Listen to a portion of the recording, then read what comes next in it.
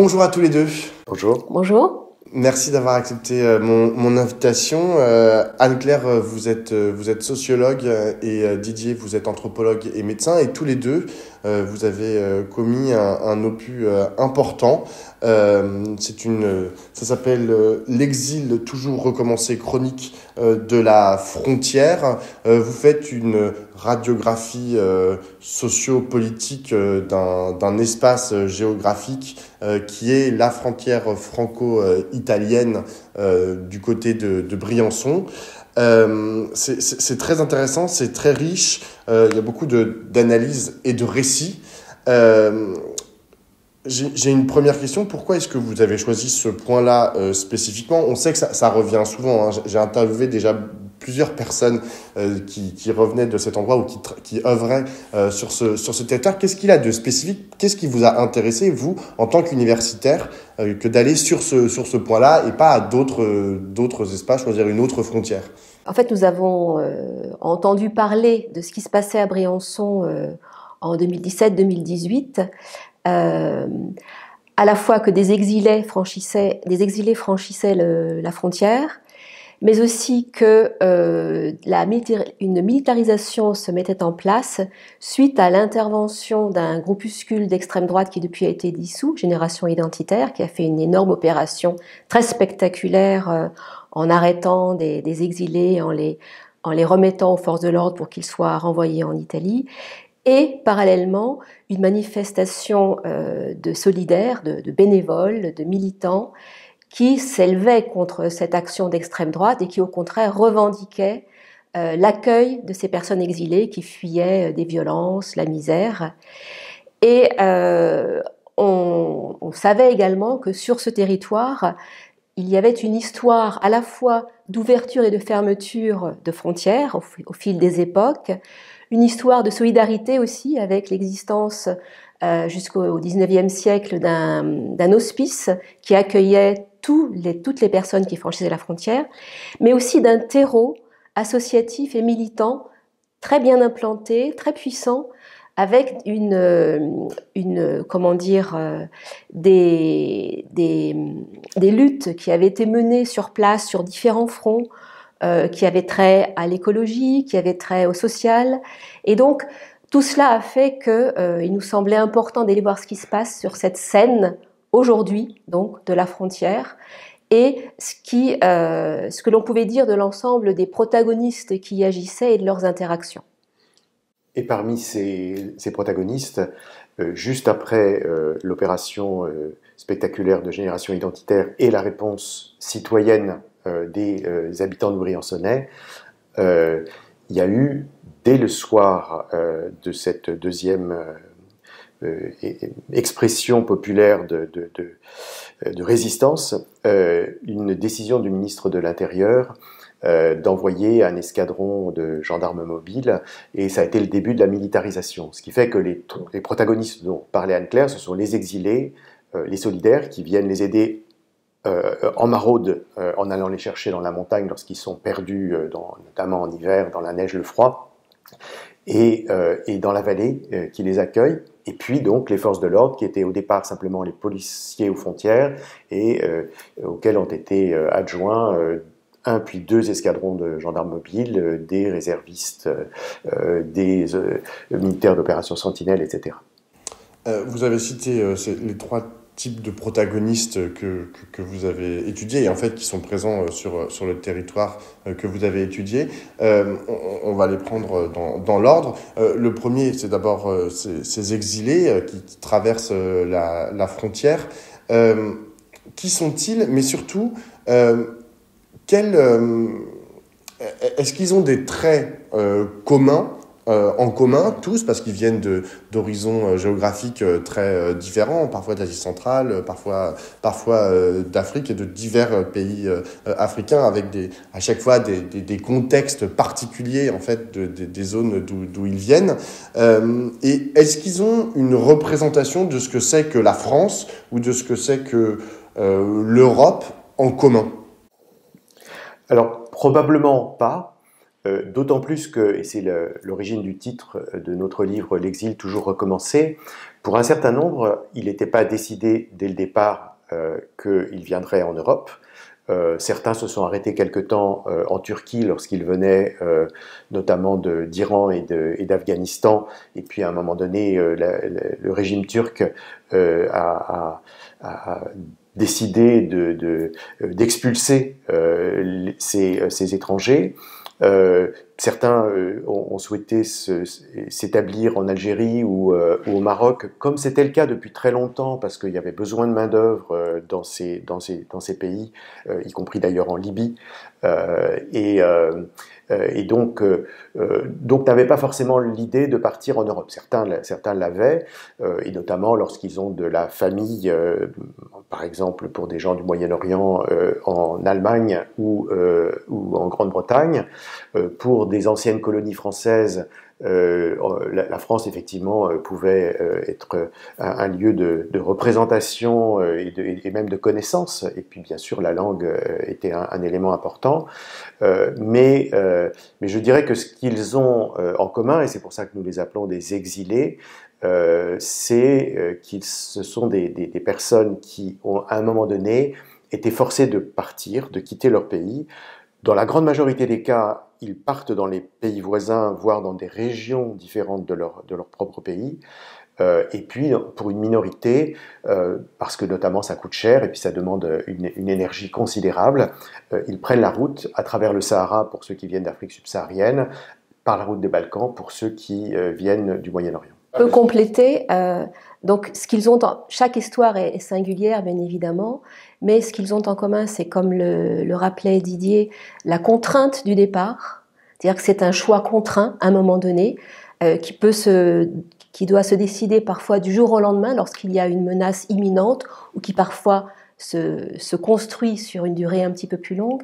Et c'est aussi l'incertitude et l'infinitude de l'errance en quelque sorte, c'est-à-dire que ils partent, ils ne savent pas combien de temps leur trajet va durer, par où ils pourront passer et, les, routes s'adaptent en fonction des, contraintes et des obstacles qu'ils rencontrent.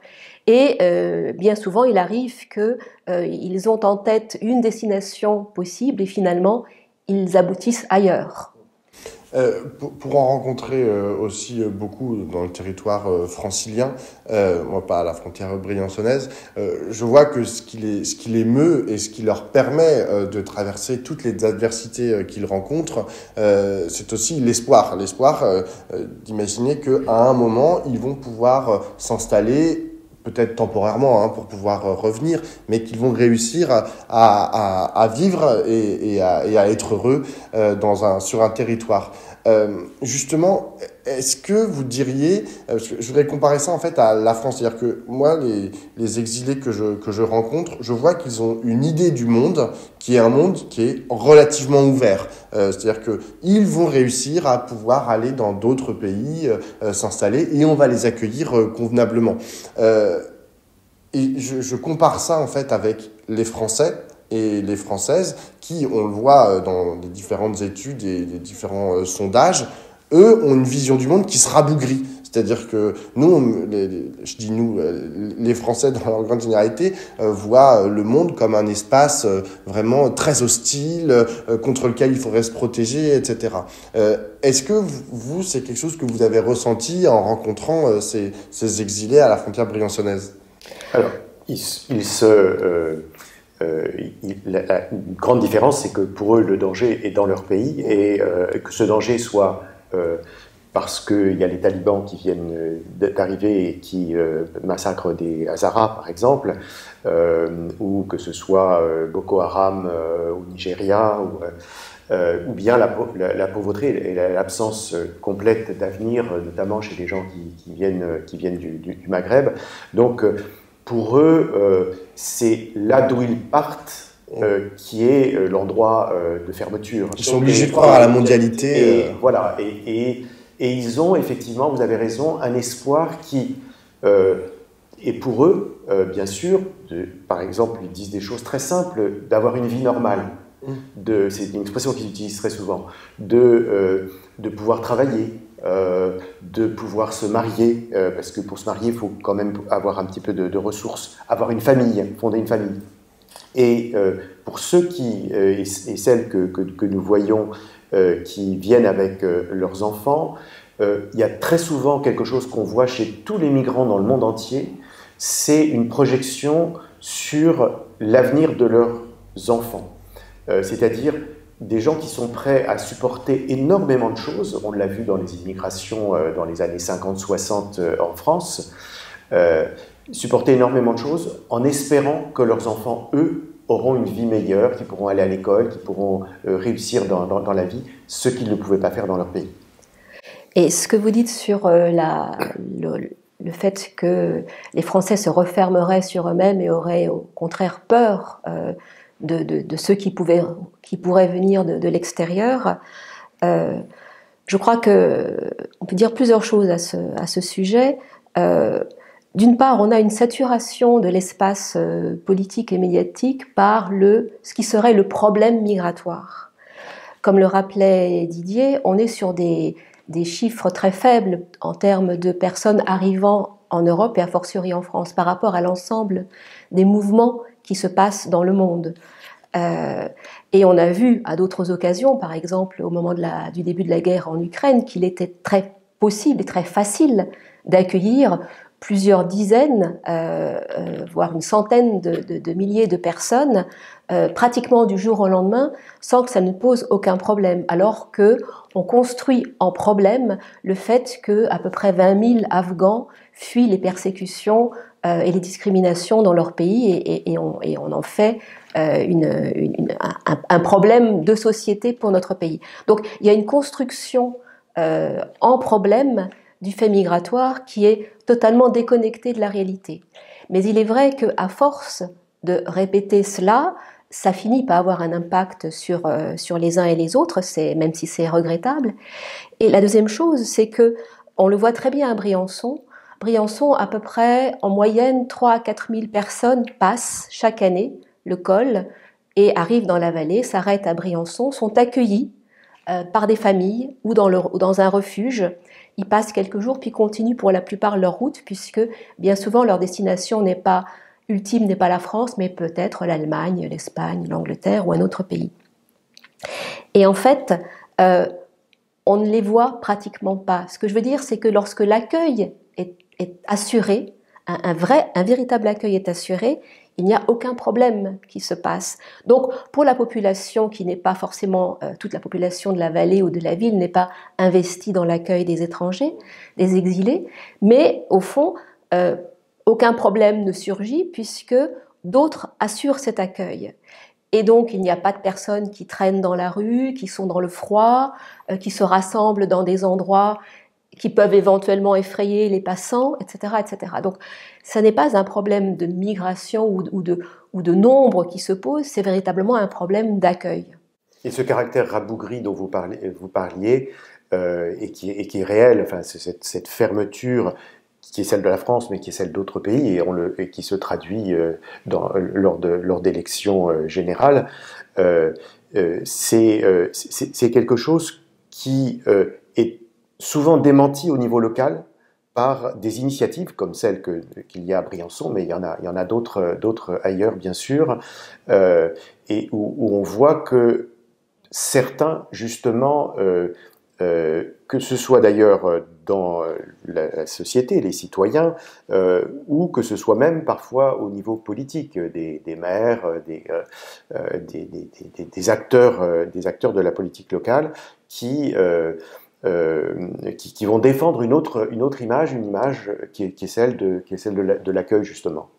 Euh, alors, on va passer au, au deuxième protagoniste, euh, c'est les solidaires, vous en avez un peu parlé, mais Justement, euh, dans, dans, votre livre, et pour connaître aussi un peu la situation à, Briançon, enfin dans la région briançonnaise, euh, qui sont exactement ces solidaires Est-ce que ce sont les habitants? Parce que Anne-Claire, tout à l'heure, vous aviez un peu, vous avez un peu dissocié euh, les, habitants et vous avez dit à l'intérieur de ces habitants, il y a une partie qui sont solidaires et qui assurent un accueil convenable des, exilés qui, passent le col. Est-ce que ce sont des habitants je veux dire, qui sont nés là, ou est-ce que ce sont des gens qui sont venus, qui se sont greffés? Vous avez dit que euh, Briançon était une terre de lutte et depuis, depuis longtemps.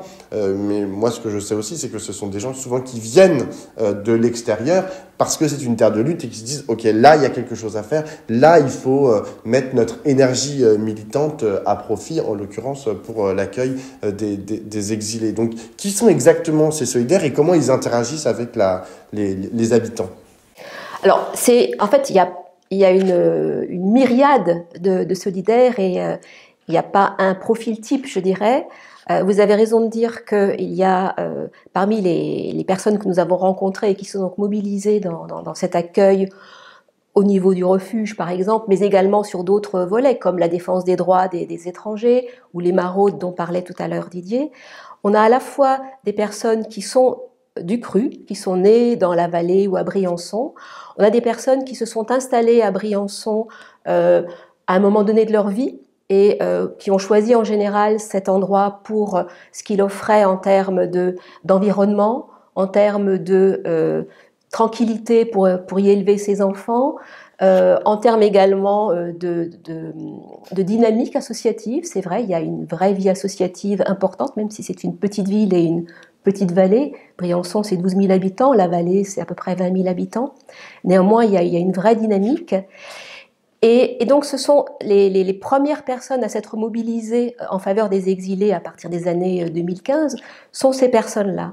Et puis, plus récemment, se sont greffés à, euh, ces, on pourrait dire, euh, bénévoles historiques en quelque sorte, beaucoup d'autres, souvent plus jeunes. Donc, on a également des générations différentes de, de solidaires, euh, des jeunes qui sont pour partie investis dans d'autres luttes euh, euh, et qui font en quelque sorte une, dans une sorte de convergence des luttes, les luttes écologiques, les luttes parfois politiques, les luttes pour les droits des, des, exilés. Et donc on a comme ça une, une superposition et en même temps une articulation eux, entre... Le passage, la, la dernière catégorie Alors, des jeunes... Un peu plus, certains s'installent. Euh, c'est intéressant de voir que à chaque génération, vous avez en fait des personnes plus jeunes qui, qui, viennent à un moment donné pour une raison particulière et qui s'y installent.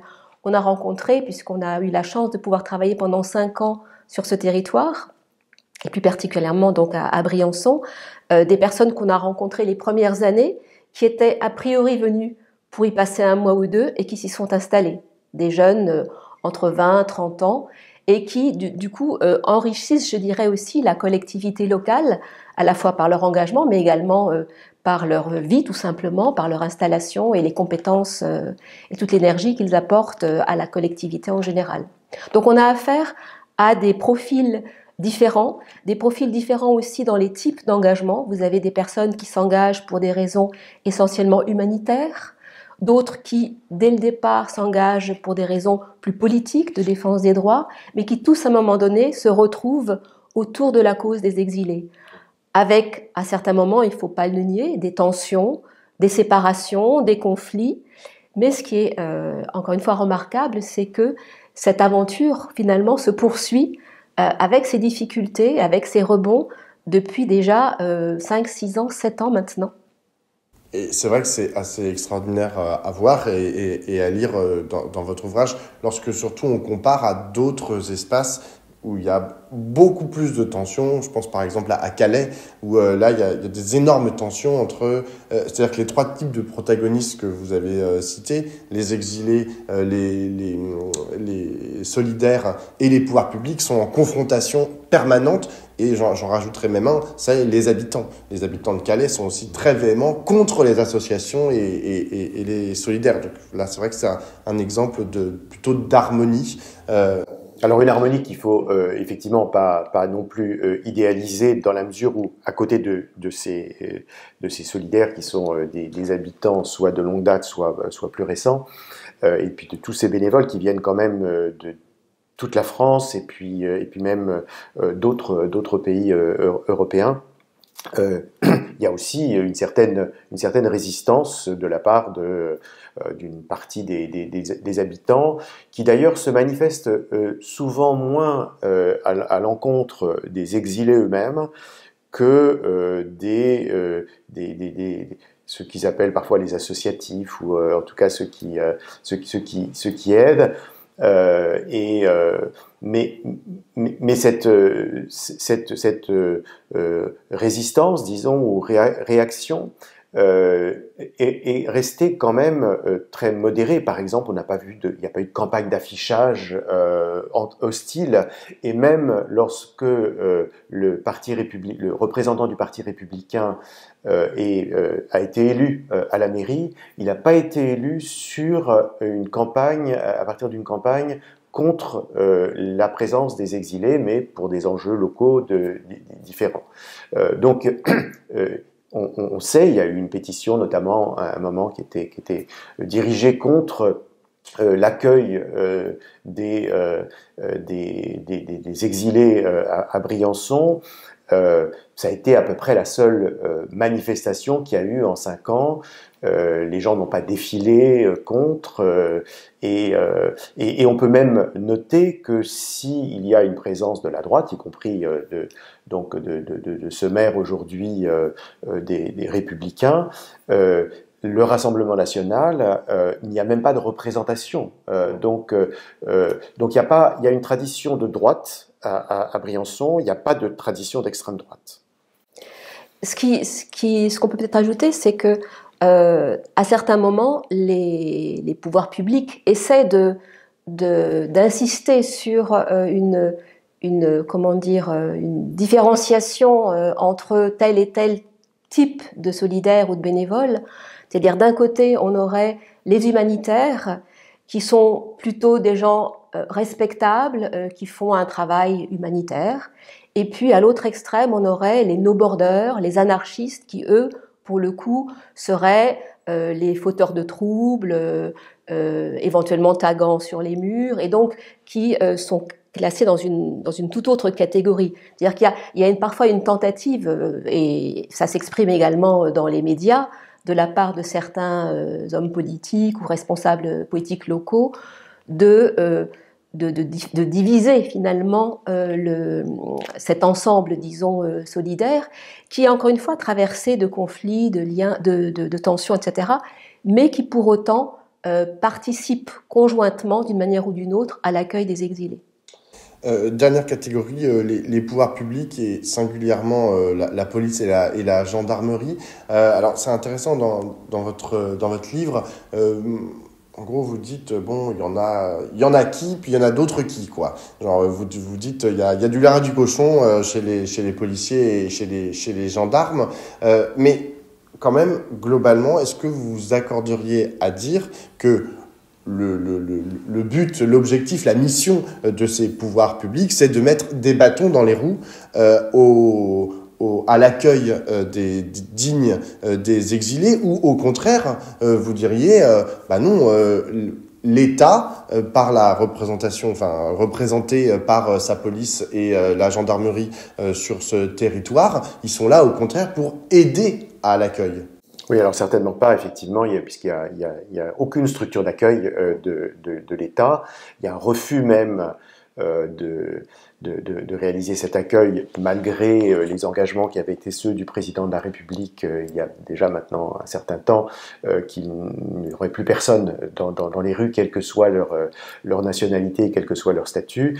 donc l'État n'a jamais été partie prenante de, l'accueil et même au contraire euh, a euh, rendu difficile euh, l'accueil toute une série de, d'opérations qui pouvaient passer soit par la police, soit par, soit par la justice, pour essayer de, rendre plus difficile et le travail des maraudes, alors ça de façon très manifeste, avec un harcèlement des maraudeurs qui sont, il faut bien le rappeler, des bénévoles qui agissent conformément à la loi, rappelé par une décision du Conseil constitutionnel qui euh, euh, a, souligné que le principe de fraternité était un principe constitutionnel et que donc aider des personnes euh, dans la montagne en l'occurrence ou d'ailleurs dans la vallée, les aider dès lors qu'ils sont sur le territoire français, donc ne pas les aider à traverser bien sûr, euh, et euh, que l'aide se fait sans contrepartie financière, eh bien, euh, il s'agit d'une de, l'exercice de ce principe liberté, égalité et fraternité.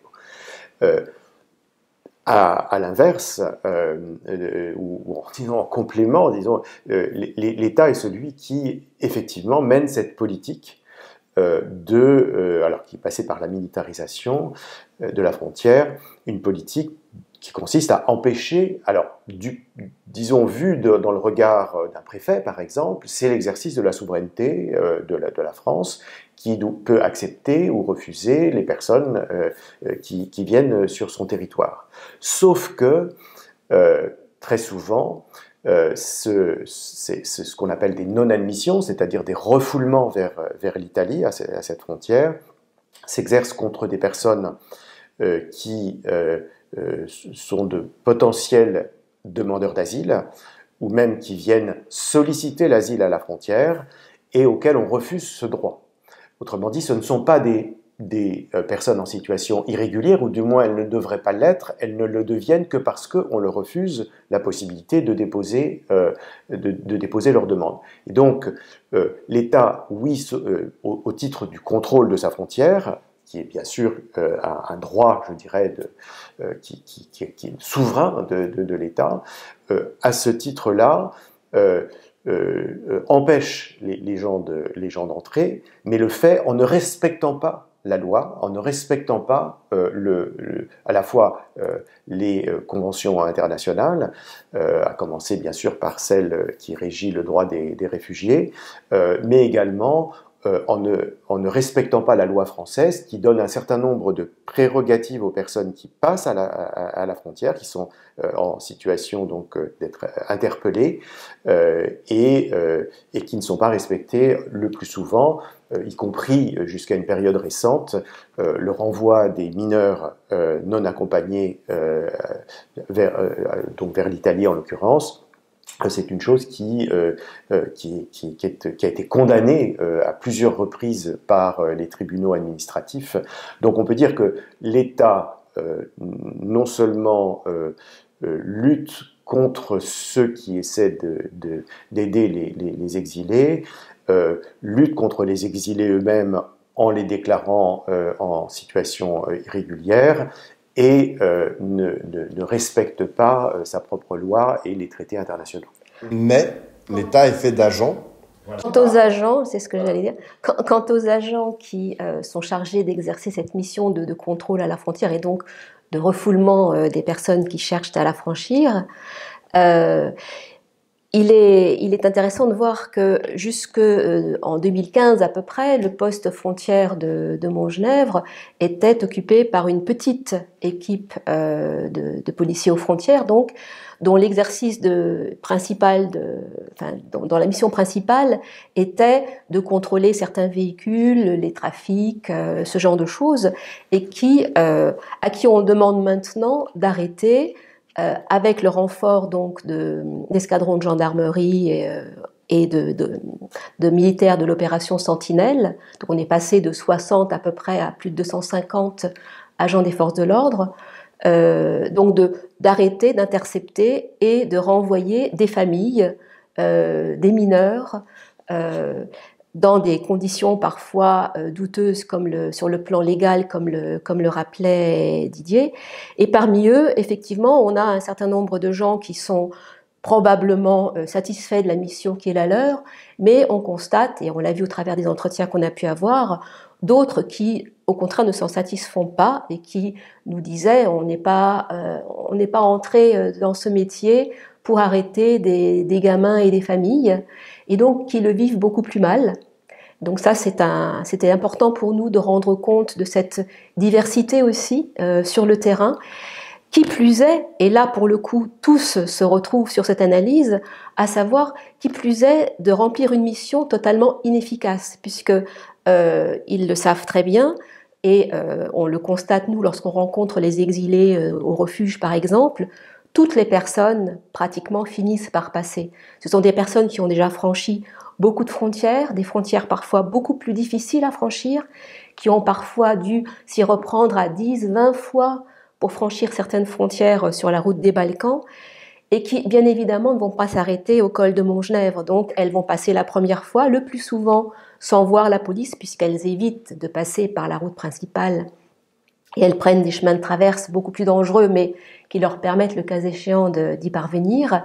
On a mais y avait 80%, 80 des personnes euh, passaient de la, euh, la, première fois sans avoir rencontré de, de force mais si, mais si elles n'y arrivent pas la première, elles, elles essaient une deuxième, troisième, quatrième, jusqu'à passer. Et ça, les, les forces de l'ordre à la frontière en sont bien conscientes.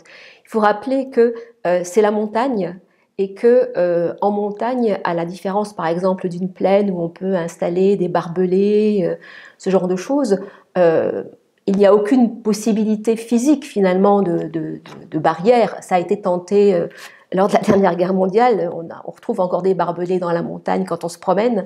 Ça n'a servi à rien. Donc on y met des agents euh, qui patrouillent maintenant euh, le long de cette frontière, mais qui au fond, encore une fois, ne sont totalement. Enfin, on ne peut pas arrêter, je dirais, des personnes qui fuient ce qu'elles ont fui et qui cherchent à trouver un lieu de refuge. Et on peut, on, peut même calculer ce que coûte euh, cette politique et, les opérations euh, qui, sont, qui sont menées, euh, puisque pour ces 3 à 4 000 personnes qui passent chaque année, on a 250 en moyenne policiers et, militaires qui sont, qui sont sur place. Nous avons fait le calcul en nous appuyant sur un rapport parlementaire qui avait réalisé le, même genre d'évaluation pour la région de Calais. Euh, nous avons fait le calcul que chaque non-admission, non-admission inefficace, euh, puisque les gens vont repasser, euh, revient à 14 000 euros. donc il y a un budget considérable qui est, est pour, une, une, action de, de, la politique de contrôle des frontières qui est, inefficace. Et alors, premièrement, on peut se, dire que cet argent euh, aurait d'autres utilisations possibles euh, pour euh, de l'accueil, pour de l'intégration, pour l'école pour les enfants, etc. Et, et, et d'autre part, cette, la, la, question qui se pose, c'est puisque c'est inefficace, pourquoi continue-t-on?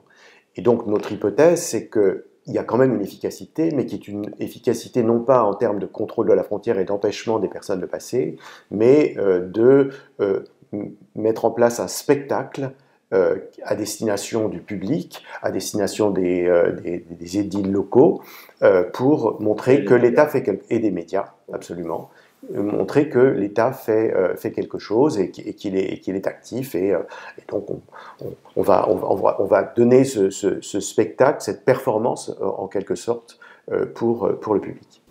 Mais justement, et ce sera ma, ma dernière question, le fait que ce spectacle totalement inefficace, hein, je reprends vos mots Didier, se prolonge euh, existe depuis très longtemps et se prolonge euh, aujourd'hui. Euh, le fait qu'on ait une 30e loi immigration en quelques dizaines d'années qui me, laisse vraiment pantois par son cynisme, son inhumanité et globalement son, son, son horreur. Est-ce que tout ça, ça, ça, ne, ça ne souligne pas finalement votre échec à vous les universitaires, à vous, euh, les tenants et les tenantes des, des sciences euh, sociales, euh, parce que globalement, vous, n'êtes pas les seuls à travailler sur cette question. Je, sais pas, je prends à la fois François Gémen, François Héran, etc., et tout ça. Vous, vous dites tous la, la, même chose. Vous dites c'est inefficace en fait le, le, travail de contrôle aux, aux, frontières, enfin d'empêchement aux frontières de faire passer les gens. L'accueil est, est insuffisant, etc. Vous dites tous la même chose, et pour autant, ben, les lois successives sont toujours euh, disons-le, de pire en pire. Donc, est-ce que, au bout d'un, est-ce que vous, partagez ce constat que c'est l'échec des sciences sociales? Non, je ne crois pas que ce soit un échec des, sciences sociales. C'est que, effectivement, euh, euh, alors d'abord, il y, a, différents types de travaux. vous citiez François qui, qui permet d'avoir cette, cette, vision euh, euh, démographique euh, qui est extrêmement importante, euh, qui permet de comparer la France avec les, autres pays. Il y a des travaux comme, le, comme, euh, comme les nôtres qui sont euh, beaucoup plus au, niveau de, de, de, la fine granulation de, ce qui se, de ce qui se passe et qui permet d'ailleurs de comprendre la manière dont les politiques se font, mais aussi, et c'était une chose pour nous importante, on l'a un peu évoqué précédemment, mais qui permet de donner à comprendre, je crois, à, un public un peu plus, un peu plus large, ce qui sont ces exilés, ce qu'ils ont, les raisons pour lesquelles ils sont partis, ce qu'ils ont euh, traverser ce qu'il pourrait apporter aussi à, notre, à, notre pays. Euh, donc, euh, je dirais qu'on participe d'une certaine, certaine compréhension des, enjeux. Après, évidemment, euh, il, il, n'en reste pas moins qu'il y a des politiques qui ont leur propre logique. Ces logiques, nous le montrons et d'autres le font également, sont totalement déconnectées de la réalité, qui est aussi bien la réalité quantitative du, nombre de, passages et d'entrées sur notre territoire que euh, la réalité de l'efficacité euh, des politiques qui sont menées. Euh, effectivement, il suffit, il suffit pas de, il suffit pas de produire de la, de la recherche pour que dans un climat qui est celui que, nous, que, nous, connaissons un peu partout en Europe aujourd'hui, de retour des populismes et des nationalismes, et qui est en, large partie la conséquence euh, euh, de, politiques euh, qui n'ont pas pris en charge les véritables problèmes de la société française, auxquels sont confrontés un grand nombre de nos concitoyens, qu'il s'agisse du plan socio-économique, de, l'environnement, des relations avec euh, la, police, de, des libertés tout simplement aujourd'hui euh, dans, notre, dans notre pays.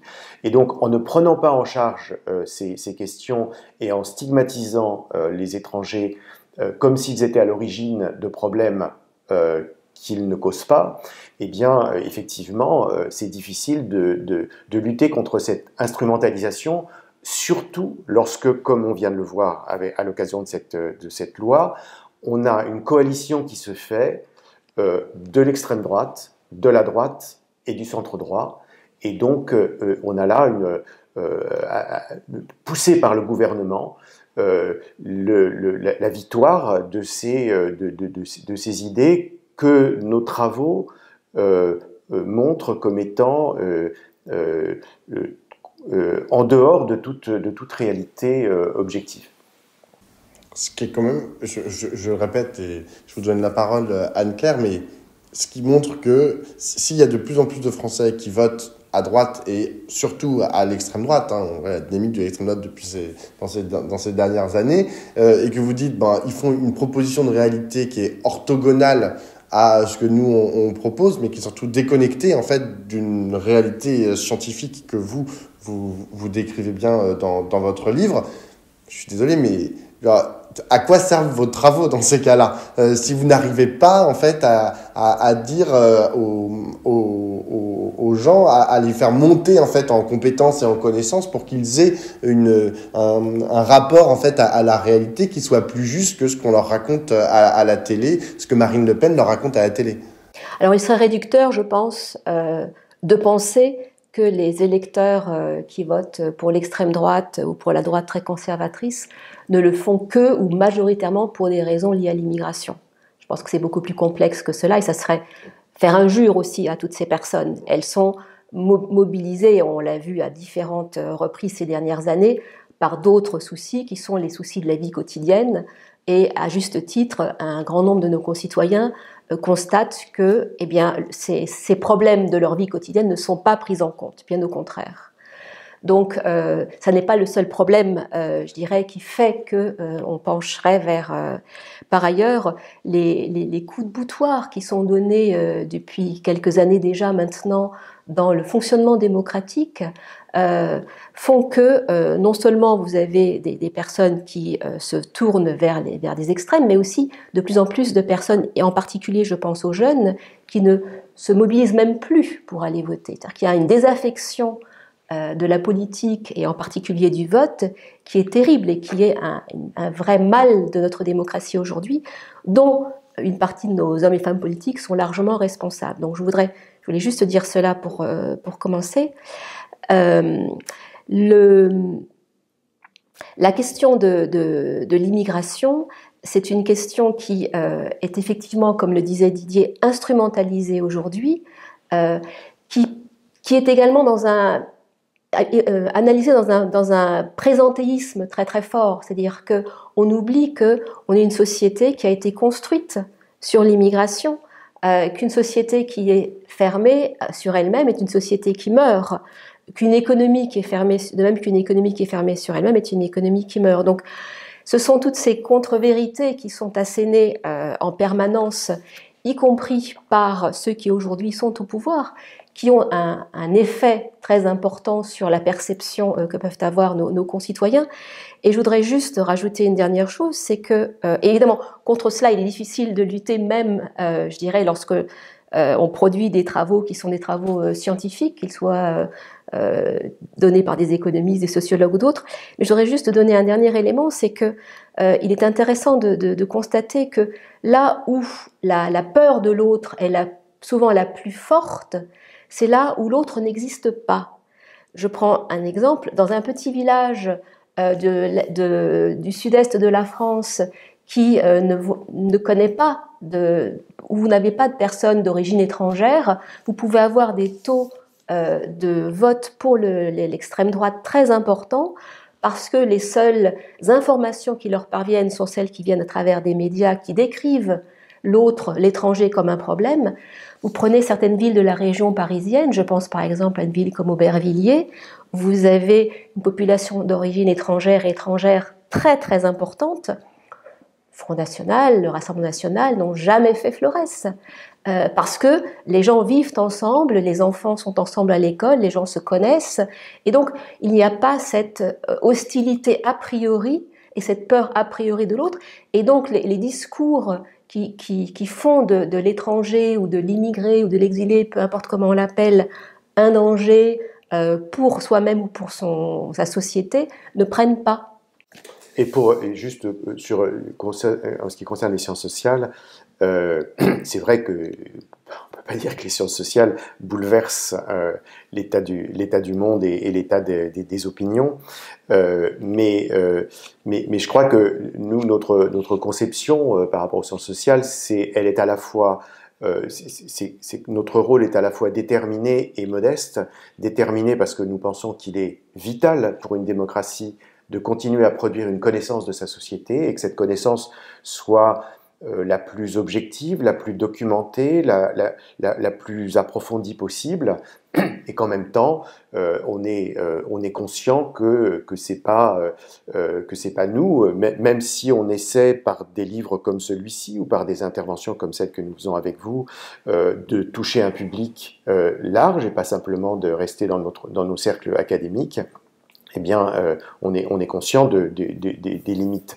Et il faut, il faut bien prendre aussi la mesure de, euh, de, toute cette évolution qu'il y a eu ces dernières années, euh, de tentatives de, de disqualifier de discréditer les sciences sociales. Pensons à la question de l'islamo-gauchisme euh, pour désigner les personnes euh, qui travaillent sur les questions d'égalité et de lutte contre les discriminations, par exemple. Vous expliquer, c'est excuser. Voilà. Sarkozy. Sarkozy et puis et puis Manuel Valls malheureusement et, et, donc il y a y a ces attaques permanentes contre le contre les sciences sociales euh, qui, euh, qui, qui, qui, crée cette, cette coupure aussi entre le politique et le scientifique, euh, avec, avec bah, les conséquences que vous, que vous releviez et le fait qu'on a des, des, des, politiques qui ne, ne, font plus, ne sont plus au service de la nation et, et, du peuple à travers une connaissance de la société, mais à travers de purs jeux qui sont à la fois idéologiques et euh, électoralistes. Merci beaucoup à, tous les deux. Merci à vous.